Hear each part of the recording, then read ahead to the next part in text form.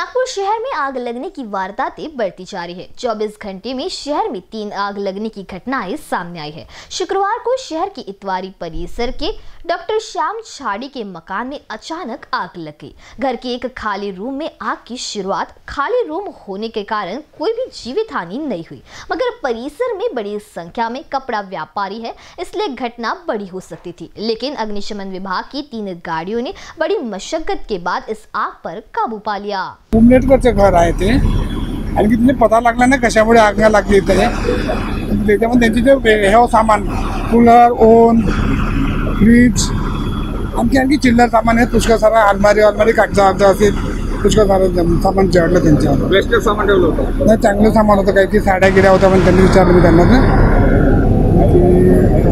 तीन गाड्यांनी आम्ही पाणी मारलं. आग किती कमी जागेमध्ये भरपूर होते आग. ते आम्ही कसं झाल्यासारखे झाली वरण खाली हे करणार. सर्व कर्मचाऱ्यांचं तिसरा मजला आहे खालून तिसरा मजल्यावर.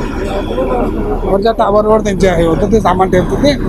आणि कूलर आता कूलरचा हे नाही म्हणून त्यांनी कूलर हे सामान ठेवलं तिथे.